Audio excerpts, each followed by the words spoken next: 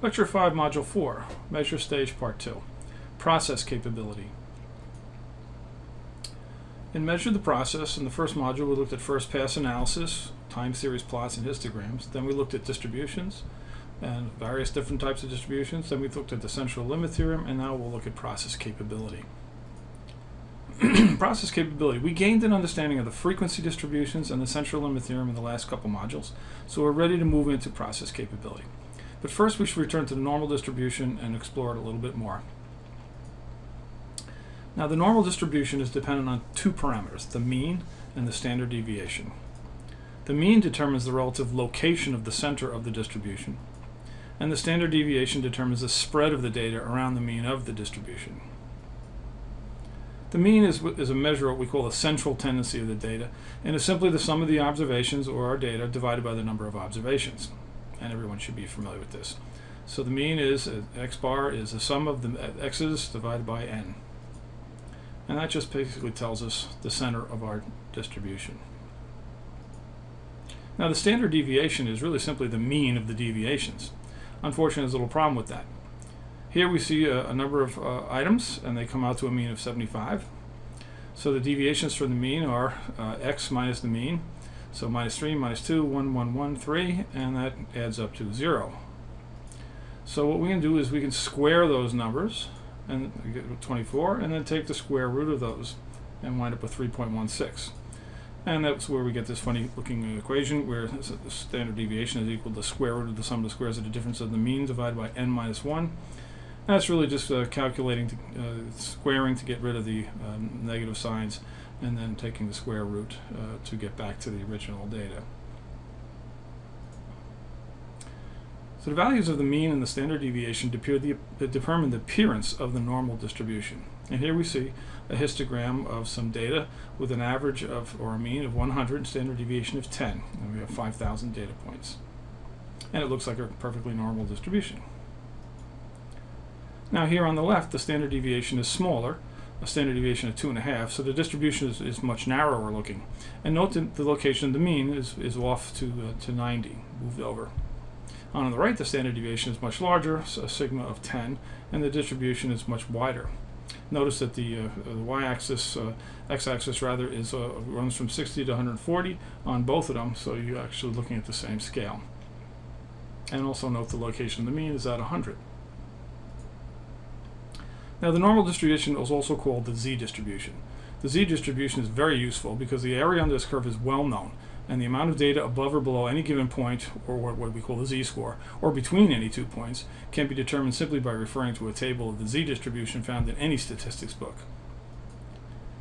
And a z-score is a point on the z-distribution. So below, uh, we see uh, uh, the, the normal distribution and the amount of area in, in each, uh, in each section. So at the zero point, which is the uh, is the mean. Uh, to minus 1 is 34%. From the 0 point to, to 1 is also 34%. From 1 to 2 is 13.6%. So each of those numbers, uh, minus 3, 0, 2, etc., are z-scores. And we can determine the area to one side of it or between any two scores. So the z-score is very useful because it allows us to calculate the probability of a score occurring within our normal distribution. Also allows, enables us to compare two scores that are from different normal distributions and they have different shapes. So we can standardize to the z-distribution. In the graph below, a lower specification has been converted into a z-score and plotted on the z-distribution.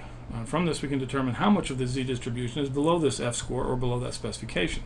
So we decided, or I decided, to select it at, at minus 2, a, a, a z-score, uh, two standard deviations below. And as you can see, minus 2 to minus 3 is 2.2% of the area, and minus 3 to minus 4 is 0.2%. So we can just add those up, and we get 2.4% of our data will be below that lower specification. So the z-score can tell us the percentage of the area under the curve for a normal distribution. This is important for process capability because if we use a specification as the z-score, we have a direct method for determining the percentage of data that is above or below our specifications. Now any value from a normal distribution can be standardized or z-transformed into the corresponding value in the z-distribution. This is accomplished using the equation shown below. So here's the value you're interested in, so some x And we have the mean of the data, we have the standard deviation of the data, and between those three we can calculate the corresponding z-score. So here's an example using some content uniformity values for 10 tablets uh, for percent label claim. So the average comes out to be 97.5, standard deviation of 4.98. So the relative standard deviation there is 5.11%, uh, which, which would pass, uh, and we would say that this batch is good. But let's say we have a lower specification of 90% on this. What is the possibility of, of, of having failures?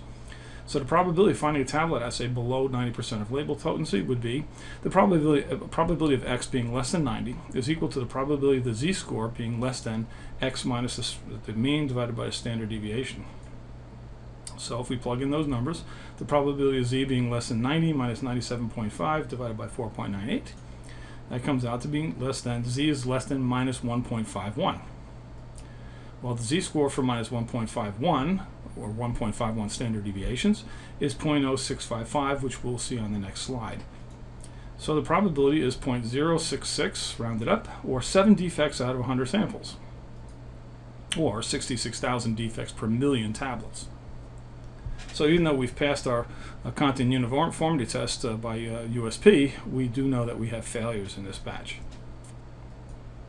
And here's how we find the z-score. So we did the calculation, and we find the minus, minus 1.5, and then we look at the intersection for 0.01, so we get minus 1.51, and that gives us our 0.0655 z-score. Since the values of the mean and the standard deviation determine the characteristics of the normal distribution, the process location and the spread, the normal distribution can be used to examine how a process is performing compared to its specifications. And since the z-score can tell us the percentage of data in any area of the z distribution, we can use it to tell us how much of our data is within or outside of our specifications. Now, process capability is a measure of the ability of the process to meet its required specifications. Process capability is also a comparison of the actual process, which we would call the voice of the, of the process, to the process specification, which we in Six Sigma also call the voice of the customer. This comparison can demonstrate whether the process is centered on the target specification and if the variation in the process meets or exceeds the specification limits. Understanding the process capability allows us to predict how well a process will meet the design requirements of our product. Specification limits really should come from the voice of the customer and should be determined either from customer requirements or some industry standards. Uh, they should not be arbitrarily set, which happens quite often.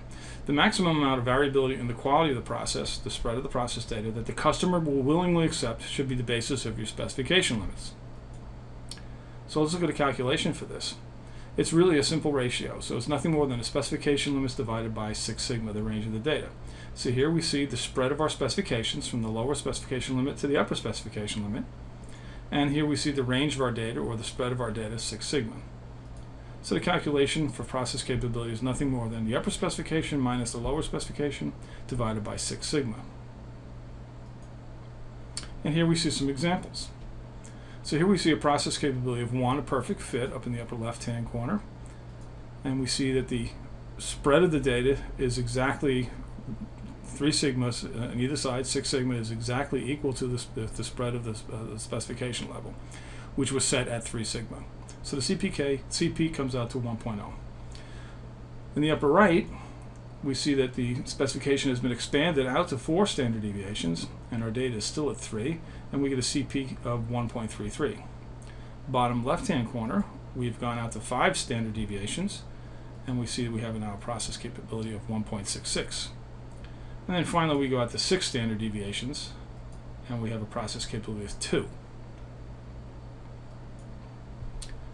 For a process to be acceptable, it really should meet four basic criteria. The process must operate in a consistent manner, shouldn't be bouncing all over the place.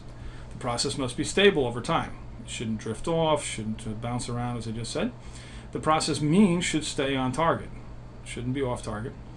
The process variation must not exceed the specifications. Now, if a process does not meet all of these criteria, then there's a risk of producing significant out-of-specification product. Now, this is a process that is capable and centered.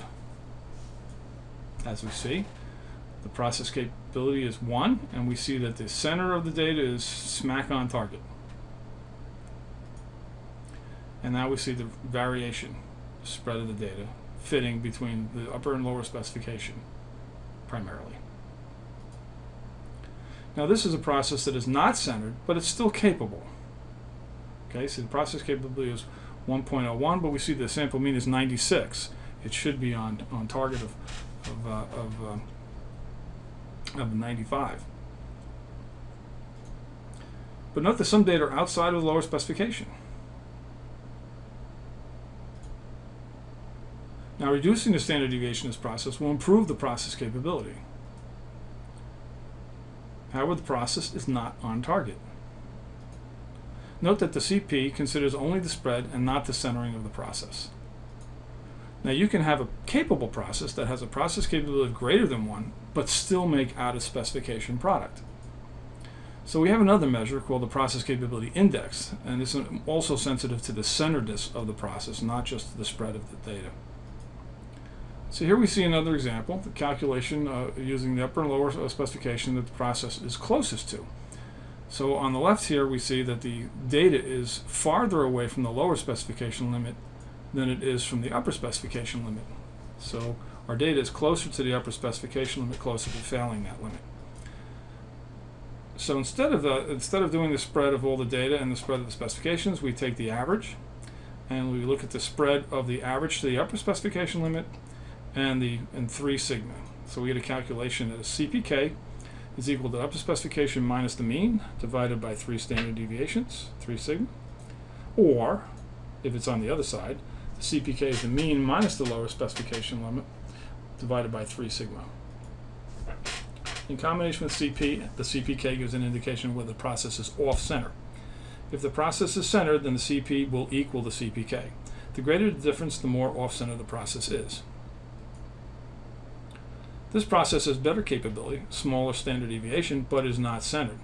Note here that the CP is 2.52, but, uh, but CPK is only 1.75, since the process is close to the lower specification. Note again, if a process is centered, then CP and CPK will be equal. If they disagree, the process is off target. So process capability, 0 to less than 1 is unacceptable, sometimes called not capable. Greater than 1 to 1.33 is fair. Greater than 1.3 to 1.66 is acceptable for many processes. Greater than 1.66 is considered exceptional. And 2 and greater is 6 sigma. Sigma means standard deviation, and 6 sigma means 6 standard deviations. So a CP to CPK equals 2 is 6 sigma from the center. This is exceptionally good, hence the name 6 sigma. So here we see the CP is equal to 2, and that will be a sigma of 6. Now another measure of process capability is the percent defective in, in the process, and this can easily be found by calculating a z-score and then using a z-score table. However, parts per million is used more commonly these days. Percent is, is way too high to be acceptable these days in terms of quality. So we look at the number of failures in parts per million rather than parts per hundred. now, this is used when the percent defective becomes so low that it is more convenient to express the number of defects as parts per million. Uh, ppm cannot be found on the z-score tables, and it has to be calculated using statistical software such as Minitab. DPMO, or defects per million opportunities, is a measure of the number of defects in a process divided by the number of opportunities for things to go wrong. So the next slide from lecture two revisits the calculation for picking and sticking, two different things that can go wrong for tablets, for a particular tablet. So DPMO is the number of defects observed in a million opportunities. It is calculated by dividing the number of defects by the number of units manufactured multiplied by the number of opportunities per unit for defects, and then multiplying the product by a million. Below is an example for tablet picking and sticking defects.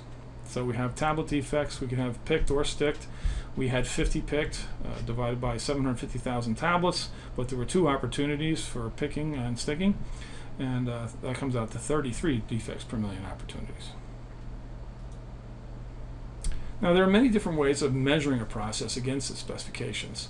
Six Sigma created one common metric that can be used with all data types and different work situations and is, and is relatively easy to understand. This measure is called the sigma level and corresponds to several typical process measures.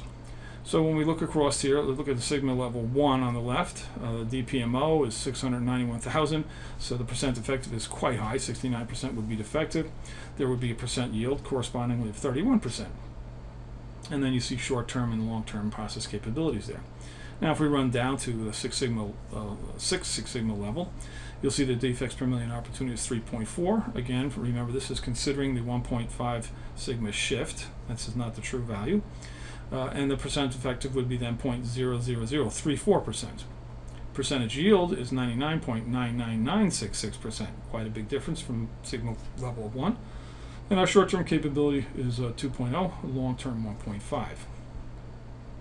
So this is how these all uh, stack up to each other. Note again that the sigma level is also the same as the z-score. Short-term versus long-term capability. Short-term capability is measured over a very short time period, uh, you know, focusing perhaps on just one machine with one operator running it uh, during one shift. So the short-term capability only provides a, a, quick snapshot of the process at a particular time. Short-term data may not contain any special cause variation, which, if present, could show up uh, in long-term data. So short-term capability normally appears better than long-term capability data. Long-term capability is measured over a much longer time period so that the influence of all potential factors, such as different operators, different shifts, different raw material lots, different environmental conditions, etc., etc., will be included in the process capability measurement. So the data in this time series plot over the short term has one apparent capability, but over the long term has another much wider capability. So short-term data can be misleading, and making judgments on just some small amount of short-term capability data uh, may, may be dangerous or, or misguided. Now CP, P, PP, and CPK, PPK. Short-term capability is measured as CP, CPK, and indicates how process, how the process may be capable of performing. It looks like it's capable of performing. Long-term capability is measured by PP or PPK and indicates how the process is performing. Now note, there is considerable disagreement and confusion in the industry over the definition and use of these terms, CP, CPK, PP, PPK, short-term, long-term. Uh, just go do a search in, on Google and look at all the different def definitions you'll find. Uh, everyone looks at it a little bit differently. Uh, and you may find that various sources define them differently and weight their significance uh, differently. But to summarize, short-term uh, represents the process capability. Long-term represents the total variation of the process. Short-term may only capture variation due to common causes, where long-term captures variation due to both common and special causes. Short-term measures variation with a subgroup or between successive values.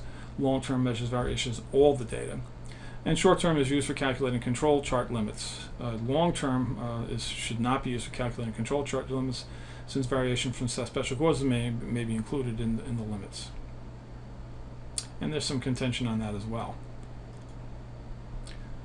So the two different calculations be short term, uh, again using control chart factors as you see there. So the uh, range divided by D2 or the standard deviation by C4 or the moving range divided by D2. And then the long term is, is the actual calculation using standard deviation. Another measure is uh, CPM. This is also a process capability measure developed by Dr. Genichi Taguchi and provides a measure of how aligned the mean is to a target. Uh, CPM is used to reduce the variation from the target.